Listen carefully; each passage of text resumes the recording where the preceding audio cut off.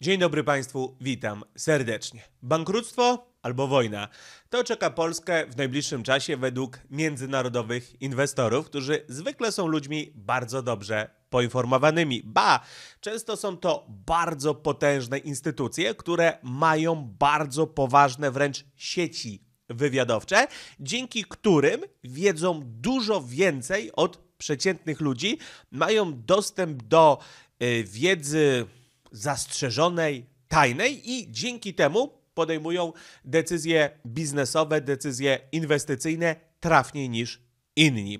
W związku z tym, jeśli oni obstawiają bankructwo lub konflikt kinetyczny na terenie Polski, to zapewne coś wiedzą i naprawdę mamy się czego bać. Zwłaszcza, że mamy tu też do czynienia ze zjawiskiem tak zwanej samospełniającej się przepowiedni. Nawet gdyby Polsce absolutnie nic nie groziło, to ich ruchy finansowe, które podejmują w związku z tym, że obstawiają taki scenariusz, do obu tych scenariuszy mogą doprowadzić. I o tym, drodzy Państwo, będzie w dzisiejszym vlogu.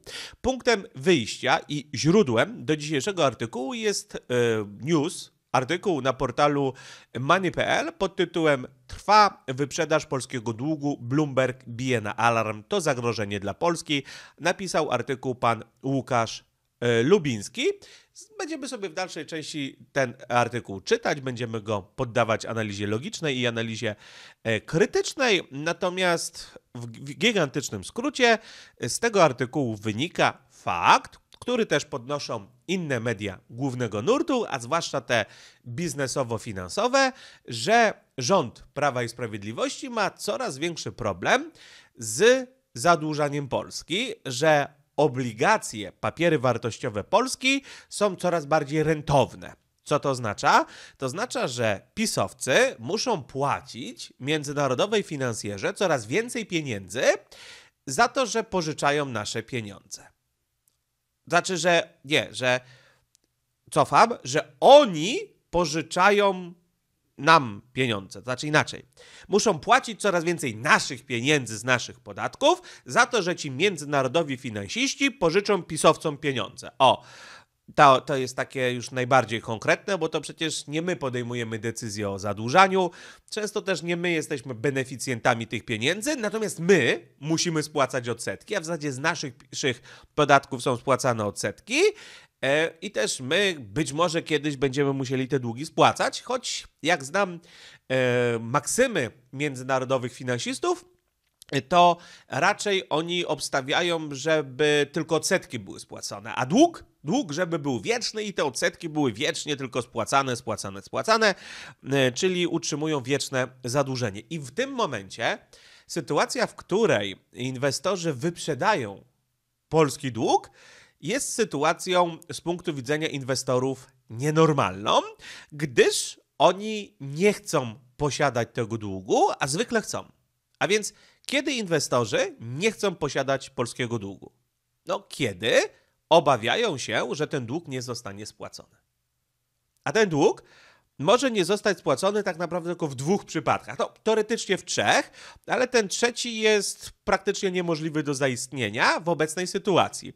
Trzecia sytuacja jest taka, że rząd nagle mówi, że słuchajcie, te długi może i myśmy za, zaciągali, ale to nie są długi uczciwe, te długi e, nie powinny być przez nas spłacane, gdyż to, to, to, to, to, to i to. Czyli mówiąc krótko, rząd odmawia spłacania długów, podając jakiś powód typu, że na przykład ktoś ich zmusił do zaciągnięcia tego długu, że były jakieś zewnętrzne naciski, albo że mm, finansjera na przykład coś złego zrobiła, albo na przykład dokonuje potrącenia jakiegoś typu, twierdząc, że na przykład jakaś Yy, jakaś zaszła sytuacja bezprawna i zła. Na przykład, że wywołano świadomie obniżenie wartości złotówki po to, żeby zarobić na, na kredytach albo odwróconych opcjach walutowych. I w związku z tym rząd uważa, że jakaś tam firma wywo wywołała taką i taką szkodę, i w związku z tym potrąca sobie kwotę z tego długu i mówi, że nie będzie spłacał. nie wierzę w to, że coś takiego się zadzieje, choć może i powinno. E, natomiast co może się zadziać realnie? No albo może się za, zadziać realnie bankructwo Polski, czyli stwierdzenie, sorry, nie będziemy spłacać tych długów, bo zbankrutowaliśmy, lub też może zadziać się konflikt zbrojny w Polsce i wtedy, no, jak Polska przestanie istnieć, to znaczy inaczej, gdyby nie daj Boże ten konflikt odpukać, zakończył się w ogóle najgorszym scenariuszem, że Polska przestaje istnieć, no to w sposób oczywisty przestanie spłacać zobowiązania. Natomiast nawet gdyby yy, nie zakończył się najgorszym scenariuszem, to sam fakt rozpoczęcia tego konfliktu oznaczałby, że raczej przestaniemy sprowadzać swoje zobowiązania. Więc nomen omen na końcu wszystko to sprowadza się do tego, że przez, że inwestorzy boją się, że przestaniemy spłacać swoje zobowiązania. A to realnie może wystąpić tylko w dwóch przypadkach: konflikt kinetyczny lub bankructwo kraju. I z tego też powodu powstaje coś takiego, co się nazywa premia za ryzyko.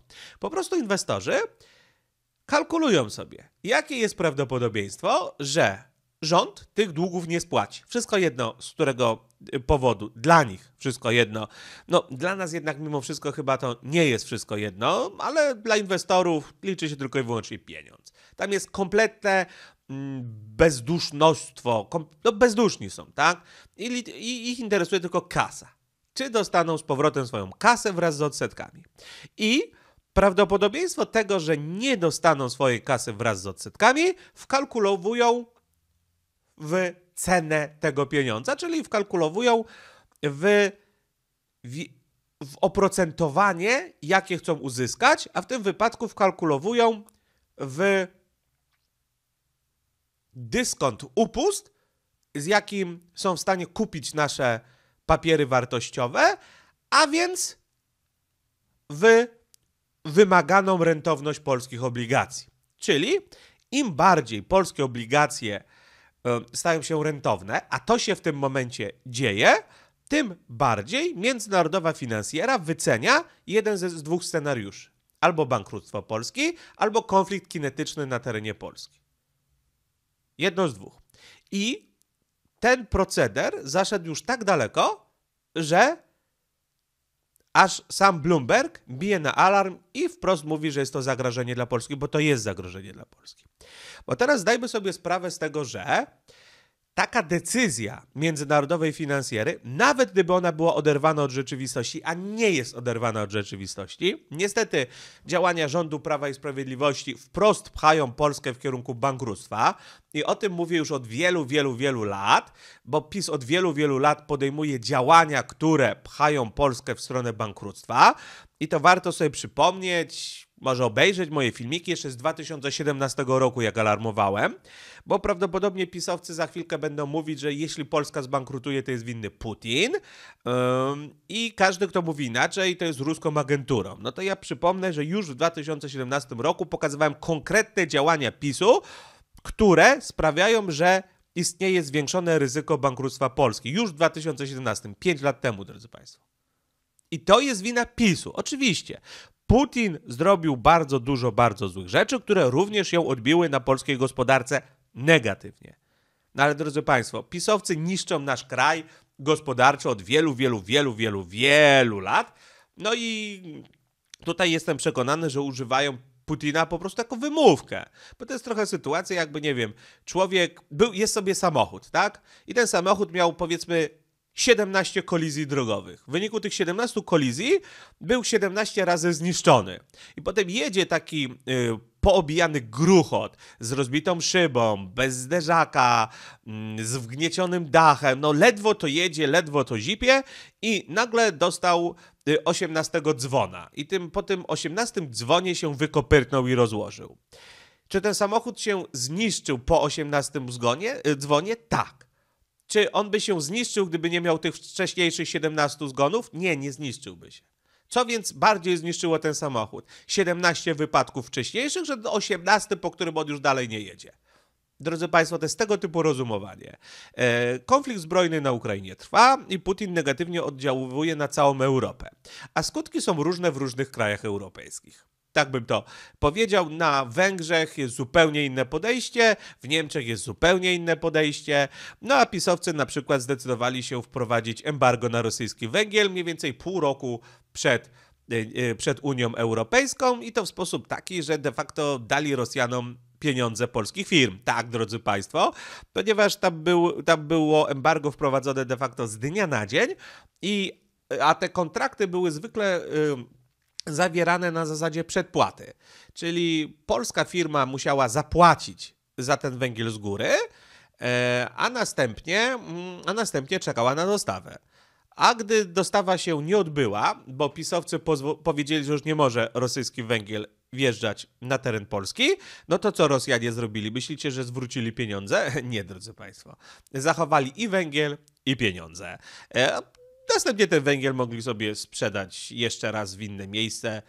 E, e, I i się cieszyć. No, natomiast rząd PiSu twierdzi, że to jest osłabianie, y, że jest to osłabianie Rosji. No, gdyby rząd PiSu chciał mnie osłabić w ten sposób, że na przykład codziennie będzie ode mnie kupował e, figurkę Jar Jara, w ten sposób, że zapłaci mi za nią pieniądze, a nie będzie chciał tej figurki i za jakiś czas znowu będzie kupował ode mnie tą figurkę, na przykład za pośrednictwem kraju trzeciego, e, go, to, e, to, to, to, to, to, to ja zapraszam. Możecie osłabiać mnie poprzez dawanie mi pieniędzy codziennie, nawet, tylko że ja od was to dostaję tylko i wyłącznie wyższe podatki. I żeby nie było, to był żart, ja żadnych pieniędzy odpisu nie chcę, nie wziąłem nawet tarcz dla um, tych antykowidowych, bo uznałem, że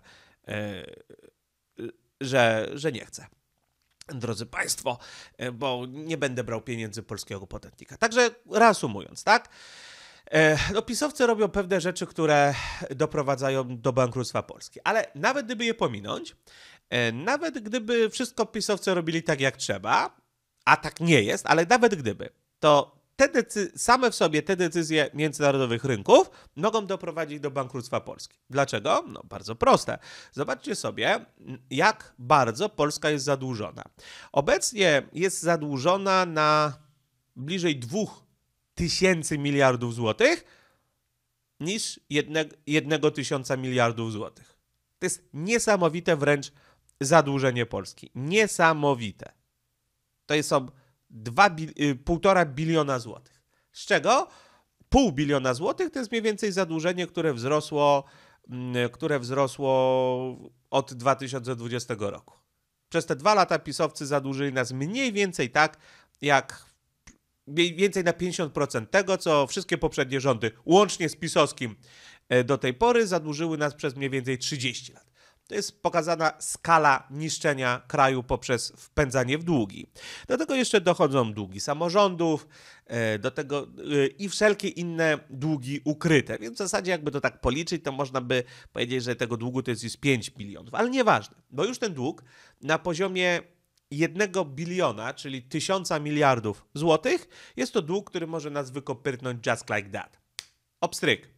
E, normalny budżet, normalny budżet Polski to jest około 400 parę miliardów złotych rocznie. 400 parę miliardów złotych rocznie.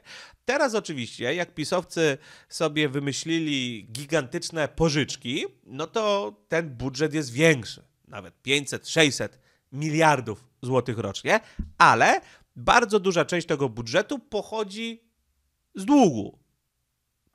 Ta część, którą pisowcy pozyskują na przykład z, mm, z podatków, to jest około 400, 400 parę miliardów złotych rocznie, drodzy Państwo.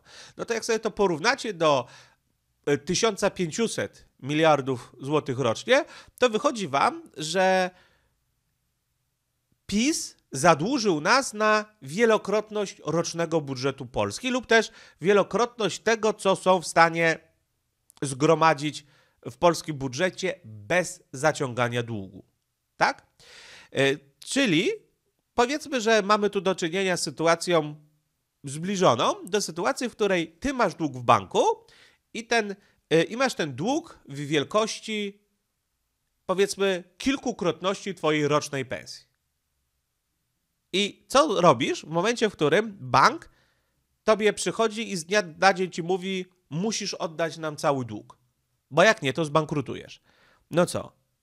No, weźmiesz nagle skądś, powiedzmy, swoją trzyletnią pensję i oddasz? No nie.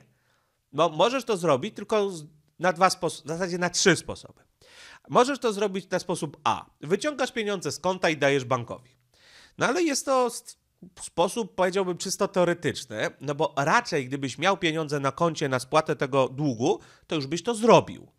Więc no, nikt normalny nie trzyma pieniędzy na koncie powiedzmy na 7%, a w, a w, rzeczywistości 5, bo jest jeszcze podatek belki i spłaca kredyt powiedzmy na 10%. No, bez sensu, prawda? W związku z tym, jakbyś miał te pieniądze, to już byś im oddał. Druga opcja. Zaciągasz się w innym, zadłużasz się w innym banku po to, żeby oddać w tym pierwszym banku, który żąda od ciebie spłaty. Tyle tylko, że żaden inny bank ci nie pożyczy. Dlaczego? No bo pierwszy bank, żądając od ciebie spłaty, dał znać wszystkim innym bankom, że ty jesteś bankrutem. Więc z, tej, z tego powodu żaden inny bank tobie nie pożyczy. Więc trzecie, co tobie zostaje, to wyprzedaż majątku, jaki posiadasz, po to, żeby ten dług spłacić. Czyli na przykład sprzedajesz mieszkanie, dom, samochód, wszystkie ruchomości, no spieniężasz co się tylko da, po to, żeby im zapłacić, bo jak nie, to cię zbankrutują. I przed podobną sytuacją w tym momencie znajduje się Polska. Międzynarodowa finansjera wysłała właśnie wiadomość, że polski dług jest niepewny, że Polacy, w zasadzie pisowcy, przepraszam, bardzo możliwe, że nie będą w stanie spłacić długu, że Polska nie będzie w stanie spłacić długu. W związku z tym, w związku z tym, yy, liczba podmiotów, które będą skłonne nam pożyczyć, spada, a te, które będą skłonne nam pożyczyć, będą skłonne pożyczyć na coraz większy procent. W związku z tym będziemy płacić coraz większe odsetki, na spłatę których nas już powoli nie stać. Więc idziemy w spiralę, która normalnie w życiu codziennym nazywa się spiralą zadłużenia.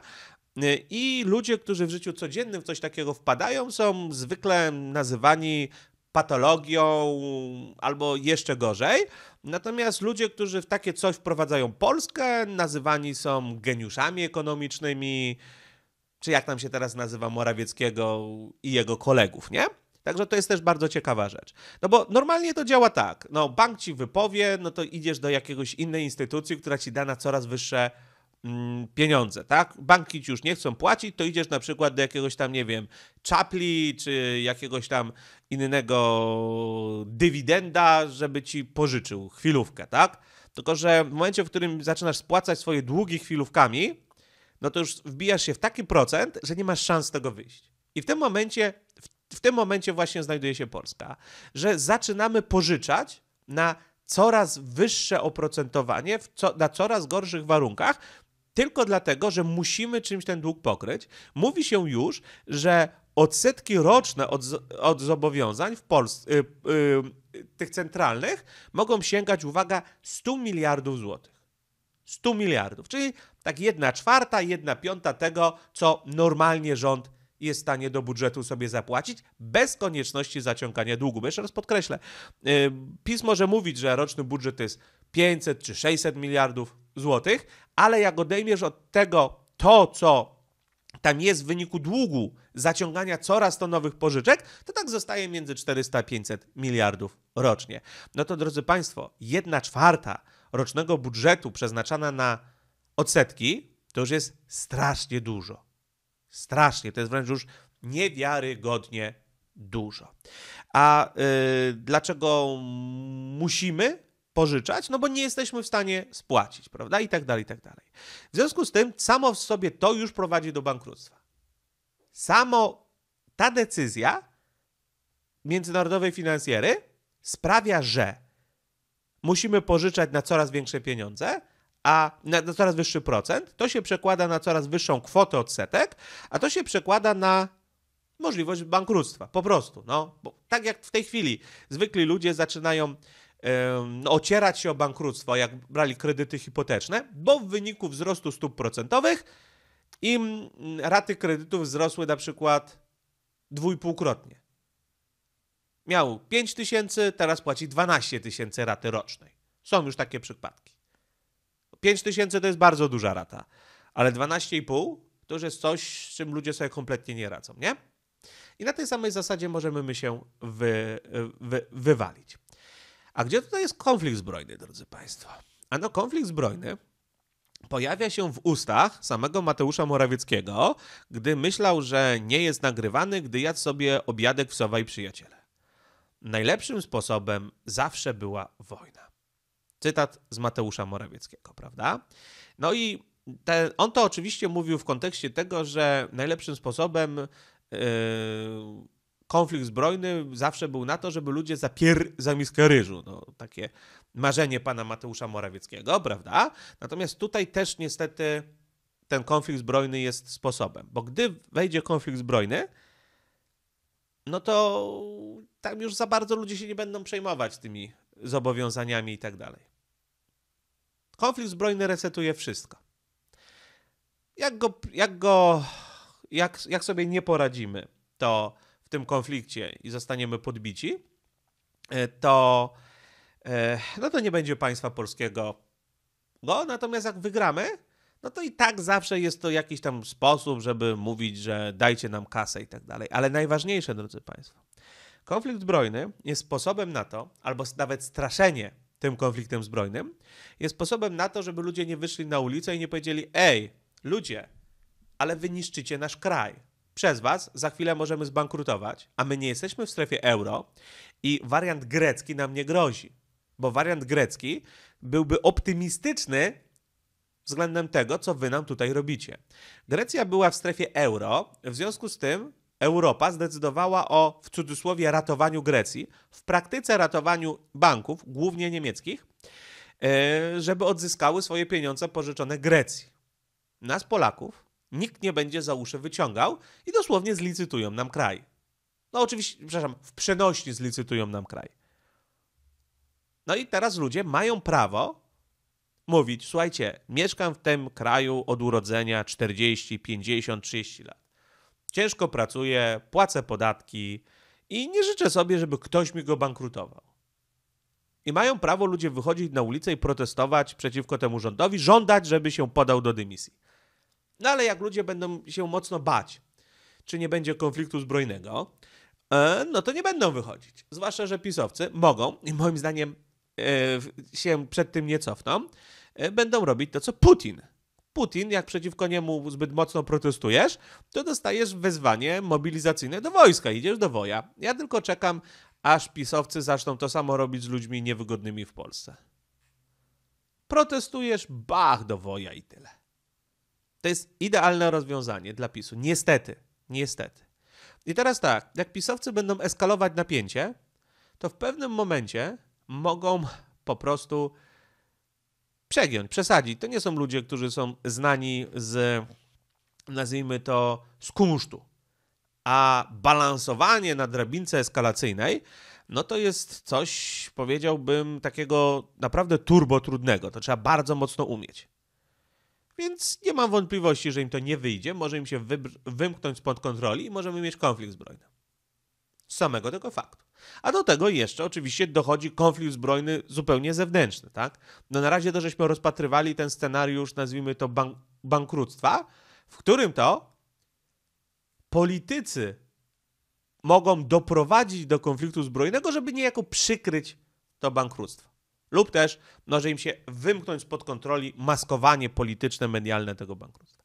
Natomiast niestety istnieje również opcja mm, taka, że naprawdę międzynarodowa finansjera wie, że Polska zostanie zaatakowana i PiS y, na przykład takimi szaleńczymi na łapu capu zakupami zbrojeniowymi w kontekście, w którym kraj de facto bankrutuje, no bardzo mocno potwierdza ten tok rozumowania.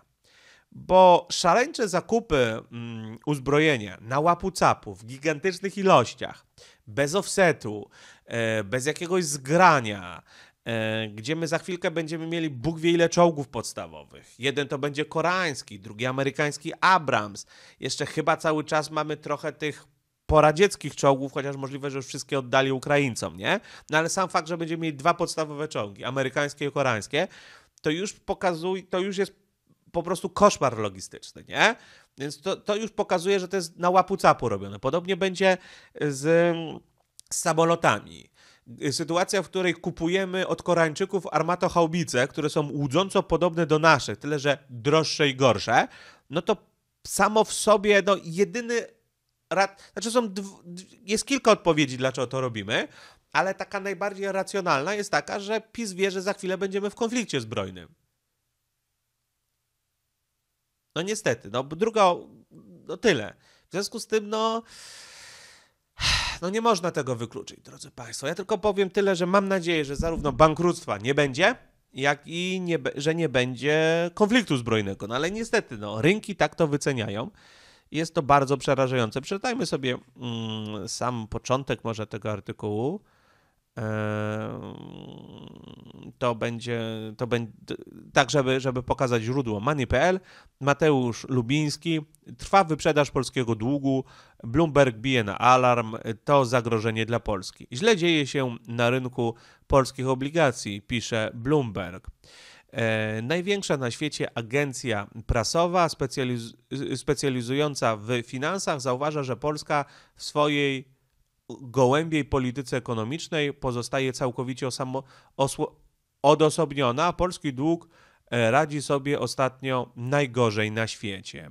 Polska w bolesny sposób przekonuje się, co się dzieje, gdy inwestorzy zaczynają się bać, że polityczni decydenci na dobre odwrócili się plecami do walki z inflacją, by dorzucać paliwa do ekonomicznego pieca przed zbliżającymi się wyborami, pisze Bloomberg e, w tekście o tym, jak rosną